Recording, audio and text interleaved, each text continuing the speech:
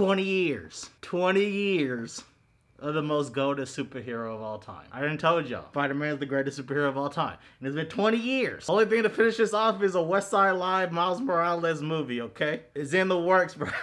It's in the works. What's good, y'all? It's your boy Westside Live. We're here for a Spider-Man movie. It's been 20 plus years of Spider-Man movie. I wanted to wait. I actually wanted to do this video a long time ago.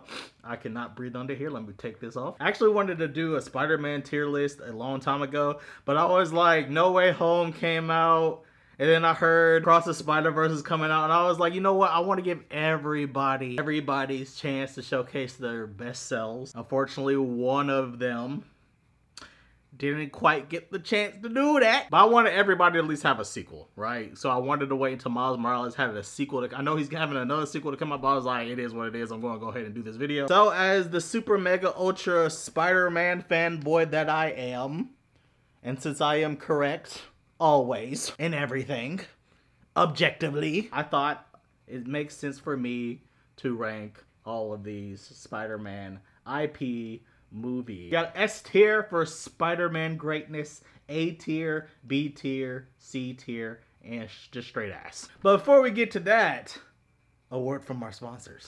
This video is sponsored by The Ridge. Father's Day is coming up, and I'm sure every single one of you, except the ones who have fathers that ran out and got some milk and never came back, here's a chance to get an easy yet sufficient gift for your father than ever with one of the biggest sales of the year for Father's Day. We've seen our fathers with those dusty old wallets. Well, the Ridge wallet expands up to 12 cards plus room for cash while remaining slim as possible with 30 plus colors of carbon fiber, burnt titanium, forged ember, designed with RFID blocking materials. I don't even know what that means, but it sounds fancy and apparently it protects from digital pickpocketers with an optional AirTag attachment so that you'll never lose your wallet again. And you can't forget the Ridge key cases that securely hold up to six six keys to prevent them from jiggling. See that raging ember? See how smooth, you see how sweet that is? You see how sweet that is, dog? Oh, wallet. Yeah, man, that holds quite a bit. Look at, look how smooth that is. Yeah, I'm keeping this. Ridge, being the generous lads that they are, is letting you test drive it for up to 99 days. You can send it back for a full refund if you don't like it. With durable material, meaning each wallet comes with a lifetime warranty. So y'all get the best Father's Day gift that you can or even get one for yourself using my link, of course, ridge.com slash west right now and save up to 40%.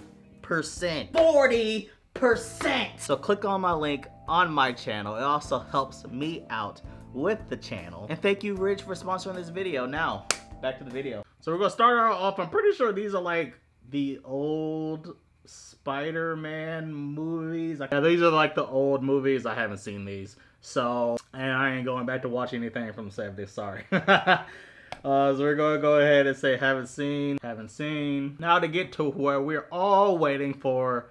Okay, starting for where it started all. The original Spider-Man. And I gotta say, man, this is probably my favorite Spider-Man movie even to this day. That being said, I still think I want to put this in A tier because going back and watching it, I would say the pacing of it wasn't the best. It, it, had some weird pacing, I ain't gonna lie. It would just kind of jump to things. Really enough, I wouldn't say it's like the greatest superhero movie of all time, but it's my personal favorite. I have the most fun with it. It's the original origin story of all these movies. It, it, it's Toby. It's Toby, fam. It's Toby. But yeah, still, still a great. Uh, no, yeah, yeah, it's fine A. It's fine. I think that's, I think that's fair. I think that's fair. It's not that it's not Spider-Man greatness. I probably should change this tier. Because it's Spider-Man greatness. I just don't think it's like the most goated. Yeah, let me check this. Because it's still Spider-Man greatness. That's, like, that's not fair to say. I think it's like, when I mean Spider-Man, I mean like just goated. Like truly the best of the best. Like one of the best superhero movies. I think it's fine there. Spider-Man 2, Spider-Man goated. Like that's come It's it's, Spider it's Spider-Man 2. It's Spider-Man 2. Okay, there's some people that try to take away from Spider-Man 2, like some people try to take away from The Dark Knight. Those peoples are donuts. They don't know what they're talking about. But I got I got it as Spider-Man goated. Spider-Man 3. I don't care what you say. It's going into B tier, fam. I don't care. I don't care. I don't care what people say. I don't care. I don't care. The, the more I, I think about it, the more I like it. I think Spider-Man 3 is actually pretty damn good. I don't care what anybody says. I don't care what anybody says. I do not care what any... You just like it for the memes. No, I liked it when it first came out. And now some people are starting to appreciate it more. Maybe because of the memes. But even before the memes, I always knew that Bully Maguire was the GOAT. You can say what you want. I ain't saying Venom is the greatest Venom that we possibly could have had. I get that. But I still got what they was going for. I still think the Sandman story was freaking great. I still think they did uh, the the spider suit, the Venom suit, the Venom, the whole outlook for Venom for Peter Parker. I still think was done good. Sandman was still done good. It was just Venom that was kind of the problem with like the, the, the Venom Venom. That was the only like kind of issue. Everything else is I, I, think was really good. Okay, I don't care what nobody say, bro. I got MB, bro. This movie. Amazing Spider-Man. Uh, this movie's kind of boring. it's not a. It's not even a bad movie per se. I would probably put it in C, um, just for an average film. Like it's just not really memorable. The lizard is not very memorable. Uh, I would say Andrew is fine. I think as Spider-Man. I didn't really like the skater boy aspect they try to implement with him. But I, I still, it still, it has some of the most gorgeous shots. Like a lot of emphasis was on this web slinging. A lot of emphasis was on the Gwen Stacy and Andrew Garfield romance, which was the best romance. All of these Spider-Man movies, I think Gwen and Miles might be a pretty close second so far. We'll see how that ends up in the end. But I would still say, yeah, Gwen Stacy and Andrew Garfield's Spider Man has the best romance. I, I think it did a pretty good job at that, but the whole movie as a whole was just eh. It was just boring. It was just dull. It was a very dull movie. So for me, I got a C tier. Amazing Spider-Man 2, straight ass. straight. I don't know what the fuck they was thinking. Even Andrew was just like, yeah, they weren't letting me do what I needed to do or what I wanted to do with Spider-Man and everything. I don't. You can see when Spider-Man started deteriorating, okay? you, can, you can see where it started to like, you know, trend downward, okay? Those weren't the best of times for Spider-Man fans, okay? We was going through a lot at that time. We was going through a lot at that time. Homecoming, A tier, straight up A tier. I love Homecoming. I love everything it tried to do. I love everything it's about. I thought Tom Holland, for a high schooler, 15, 16 year old boy, he played that perfectly. I think all the teenagers, they weren't annoying. Um, Iron Man was a great mentor in the movie and trying to get Peter to come out of his shell to be Spider Man, but not Iron Boy Jr. We're talking about the Iron Boy Jr. later on. Y'all know what movie I'm referring to.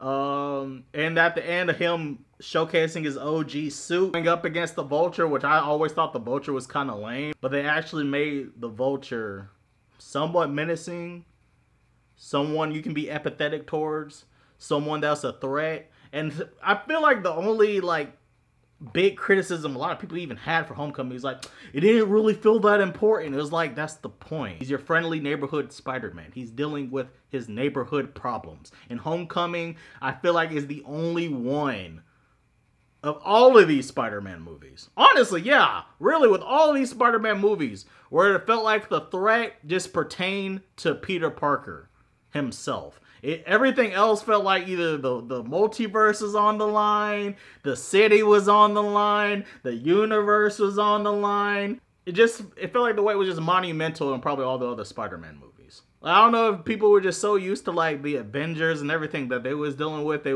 everybody was kind of downplaying what Spider-Man had to deal with, but Spider-Man is like it's a friendly neighborhood Spider-Man. Not everything has to be uh, monumental, world world shattering, city shattering. It's more of a personal story, and I enjoyed every second of it. Venom.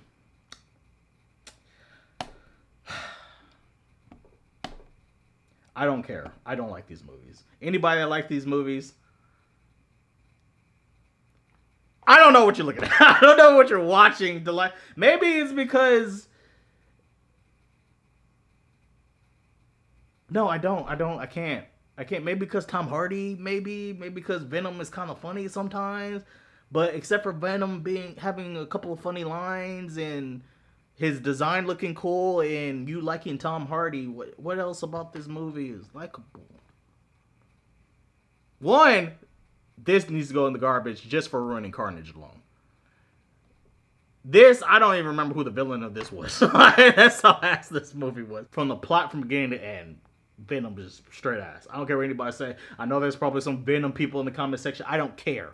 It's garbage. Accept it. Live with it. Learn it. It's ass. Spider-Man into the Spider-Verse, straight up A tier. Definitely A tier movie. Some people probably have in Spider-Man Goldie. Even after I came out of the theater, I didn't really say, I never said this was the greatest Spider-Man. Uh, Miles Morales, you know, you know, you know, get me on a workout plan. You know, I can be your Miles Morales. I thought he was really good. Um, I like Gwen Stacy. I like what they did with Peter Parker in the movie. The art style, of course, is fantastic. But yeah, I think A tier is a great point to put Spider-Man into the Spider-Verse. I didn't think it was the greatest thing since sliced bread, but I enjoyed it. Spider-Man Far From Home. Every cell in my being wants to put the wants me to put this in straight ass. But then I was thinking about it. I was like, I think that's a little unfair to group these movies together with Spider-Man Far From Home. I would say these movies have deep, deep narrative issues, pacing issues. Everything about these movies just have issues. Spider-Man Far From Home, I would say from point A to point Z, it's not like the worst thing in the world. Like from point A to point Z throughout the movie, even though I have some contention with some of the things that were happening within the movie. I don't think it was the worst thing in the world. Same thing how I feel about Amazing Spider-Man. I think both these movies are kind of boring. For Mysterio, I know a lot of people keep saying Mysterio, Mysterio. Yes, I know Mysterio was really good in the movie, but I don't think Mysterio. I don't think one good aspect say is going to save an entire movie. The kids were annoying in this. Ned was annoying with this. The MJ and Peter thing was heavily rushed. MJ was still annoying in this. It felt like Peter it felt like Disney had an agenda. And it kind of infused into this movie to where they wanted Spider-Man to kind of be or take up the mantle of what Iron Man is to Marvel, and they kind of wanted to make that Spider-Man. Also, with the whole gadget thing, I'm still, I'm not a big Spider-Man gadget guy, even for the new game, or even for any other Spider-Man movie where he just so heavily needs gadgets. I've always hated that. I still hate that. This movie has the most. This movie is one of the biggest culprits to that. Overall, Far From Home, not my jam. Not the worst thing in the world. I'm gonna keep it at C. Spider-Man, No Way Home. As people try to defend this, I will trash it. As people try, try, try, attempt to rewrite history, I will not let it. No Way Home is Spider-Man goated. I don't care what you say. At the end of the day, it did what it was trying to do. Villains all did a great job. Every character did a decent job. Ned and MJ wasn't annoying. There was so much weight to this movie. It wasn't just, oh, we just win and we go home. Okay, that, him walking into the snow and knowing that his friends don't remember him. Heartbreaking. It's such a masterful scene. Him finally realized what Spider-Man he wanted to be at the end. And that web slinging in this masterpiece. The web slinging between all the Spider-Mans, Toby, Andrew, all the villains came in from beginning to end. This movie was entertaining. Some people were like, well, this movie didn't really get really going until Toby and uh, Andrew came in. It was like, you just ignored the fact that the villains were in the majority of the movie. Green Goblin, one of the better villains. I mean, he's, he is one of the best villains of all time, but he was one of the best villains in this movie, right? And he even made it even more legendary in this movie. I don't care what you say.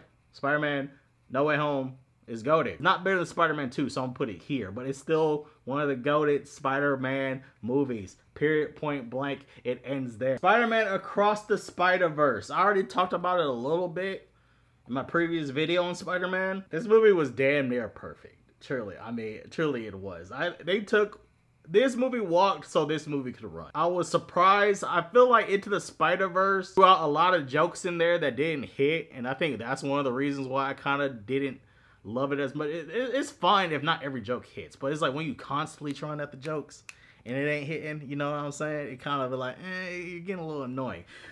Cross the Spider Verse did not have that problem. I was dying through the whole entire movie. The art style, like I said, this movie walked so this movie could run. The art and the way that they did the animation in this movie was second to none one of the best things I've ever seen in an animation standpoint. Miguel was that nigga. Miles was that nigga. Gwen was that nigga. The way they sprinkled all the Spider-Mans in there. I heard the chase scenes, the first chase scene with all the Spider-Mans and the Miguel chase scene. I think they said I heard it took them like four years just to do those scenes. You can see it. You can see it in what they was trying to do. You could you could see the passion in this movie. It it truly Spider-Man goated, and I will put this over No Way Home. I mean, this movie was fantastic. Spot ended up being a really, really good build-up villain for what is worth. Um, we could get the Sinister Six in the next. At least I'm pretty sure I heard Sinister Six. I'm pretty sure that's what I heard. Maybe I was wrong, but I'm pretty sure I heard Sinister Six. What they did with the multiverse, this is just you know playing with the multiverse done right. Surely it is. I'm not gonna put it over Spider-Man 2, in my opinion.